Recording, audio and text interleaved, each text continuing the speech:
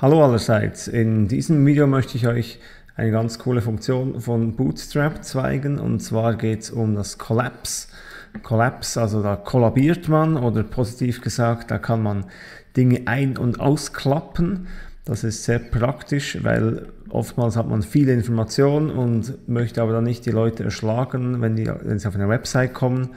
Ähm, dann kann man hier einen Knopf machen, beispielsweise Click Me und wenn man drauf drückt, ähm, wird dann weiter Text oder auch andere Elemente werden dann aufgeklappt.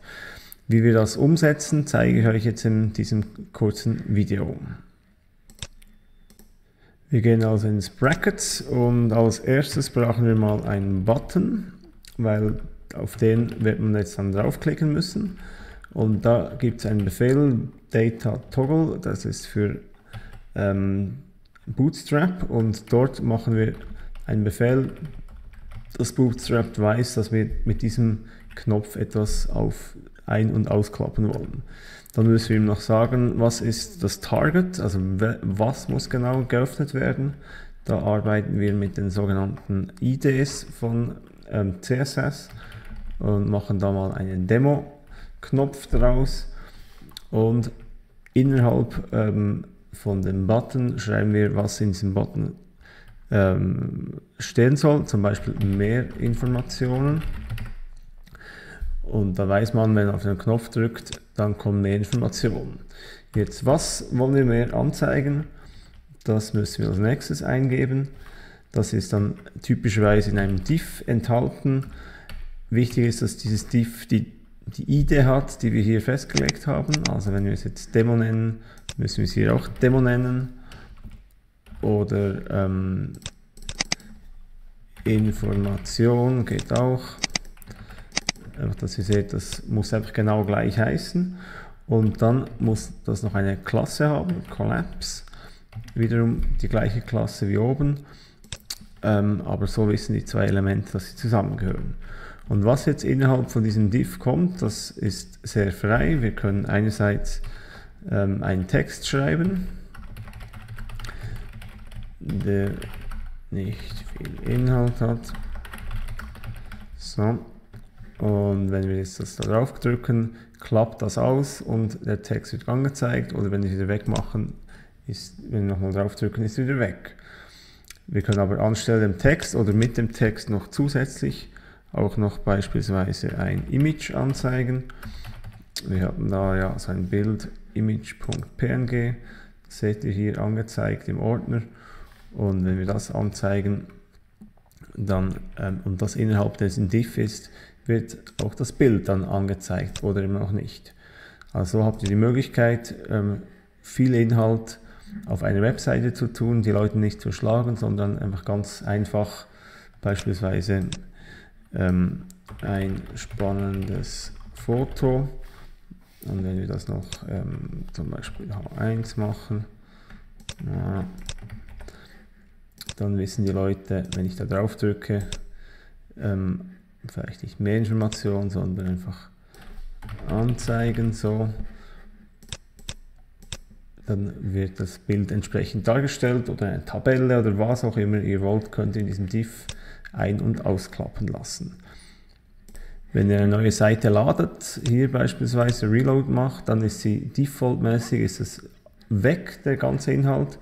Wenn ihr möchtet, dass er defaultmäßig angezeigt wird, dann müsst ihr ein Show machen und wenn ihr jetzt reloadet, dann ist es schon eben angezeigt und erst wenn ihr drauf drückt, dann müsste man eigentlich nicht anzeigen, sondern wegblenden oder ausblenden. Und dann jetzt einen Reload machen und dann können wir auch ausblenden, dann ist er weg. Mit diesem Collapse habt ihr die Möglichkeit, jetzt nicht nur einfach an einen Ort Text einen anzuzeigen, sondern eben auf ganz verschiedene Inhalte diese ein- und ausklappen zu lassen. Man nennt das auch den Akkordeon-Effekt. Akkordeon, weil man eben verschiedene Dinge gleichzeitig ein- und ausblenden lassen kann. Bei W3 Schools gibt es ein sehr schönes Beispiel, Collapsible Group Item 1 und so weiter. Könnt ihr das dann ein- und ausklappen. Das ist der Code dazu. Kopieren wir doch den mal schnell rein und schauen uns den genauer an.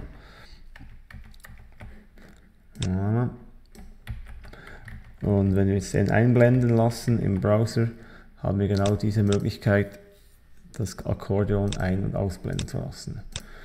Also ihr seht hier, das Ganze läuft unter der ID Akkordeon. Dann arbeiten wir mit diesen Cards, die wir schon kennengelernt haben. Es gibt einen Card Header, das ist dieses graue Ding da. Dort müssen wir genau das machen, was wir vorhin mit dem Knopf gemacht hatten, dass wir Data Toggle Collapse die Klasse haben und dann mit dem Link auf Collapse One ähm, ihr das erste Item zeigen. Dieses erste Item ist entsprechend hier mit ID gekennzeichnet, Collapse One, also wenn wir das zeigen, dann wäre das zum Beispiel Info 1. Momentan geht es nicht, aber wenn wir da unten jetzt das Ding Info auch Info 1 nennen, dann klappt er da ein- und aus. Und so können wir den Text in diesen Akkordeon einbauen, neue Text schreiben und haben die Möglichkeit, jetzt beliebig viel Text oder auch hier wiederum mit Bild. Voilà, ganze Bilder ein- und ausblenden zu lassen. Unendlich viele Möglichkeiten, die ihr dann entsprechend nutzen könnt. Auch hier wiederum gibt es ganz viele Erweiterungsmöglichkeiten. Die ganze Referenz von dem Collapse ist wiederum auf Bootstrap auch aufgezeigt. Hier nochmal die CSS-Klasse Collapse, Collapse Show, ähm, dass entsprechend die Dinge per Default angezeigt werden. Und weiter unten kommen komplexere Möglichkeiten, die wir JavaScript die Dinge ein- und ausblenden lassen könnt und welche Events das sie werfen und so weiter. Also das ist sicher ein sehr mächtiges Feature von Bootstrap. Viel Spaß beim Ausprobieren und bis zum nächsten Mal.